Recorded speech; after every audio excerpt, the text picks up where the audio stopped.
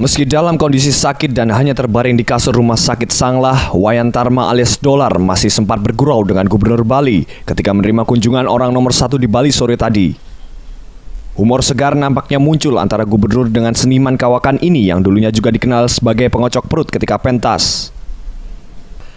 Suara yang keluar dari Wayan Dolar kurang jelas karena penyakit stroke yang diderita selama tujuh bulan. Namun ekspresi wajahnya menunjukkan ada kegembiraan ketika berdialog dengan Gubernur Bali, Made Mangkupastike.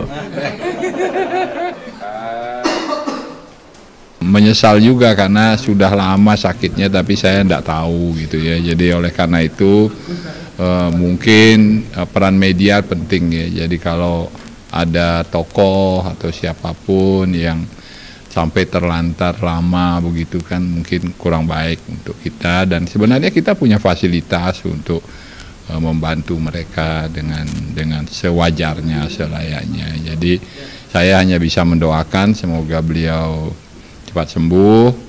Dan saya juga uh, berharap supaya uh, pelayanan untuk beliau upaya untuk menyembuhkan juga supaya dilakukan secara maksimal. Pada kesempatan tersebut, Gubernur Bali Made Mangkupastike menyerahkan bantuan pengobatan. Salah seorang putrinya, Niwayan Tunjung, yang menunggui seniman drama gong ini menyampaikan rasa terima kasihnya atas perhatian semua pihak, termasuk Gubernur Bali.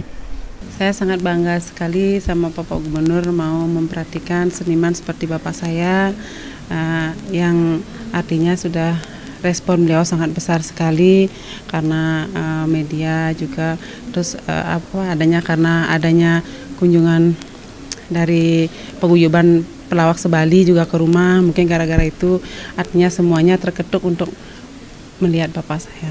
Setelah sempat dirawat dua hari di rumah sakit Sanglah, rencananya Iwayan Tarma alias Dolar akan melakukan rawat jalan. Gusti Sutisna, Yuda Yuda, TVRI Bali, mewartakan.